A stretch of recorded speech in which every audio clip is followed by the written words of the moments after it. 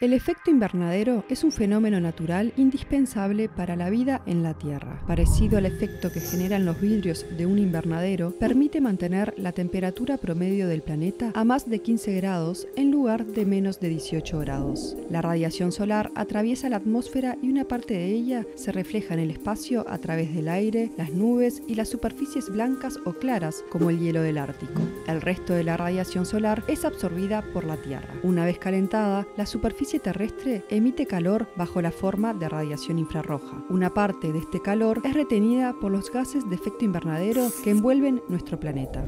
Los principales gases de efecto invernadero son el vapor de agua, el dióxido de carbono, el metano, el óxido nitroso y el ozono.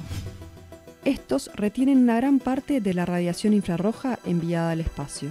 A estos gases se les suman los efectos invernadero generados por la actividad humana, principalmente el dióxido de carbono, proveniente de la quema de combustibles fósiles y la deforestación, y también el metano, producido por la agricultura.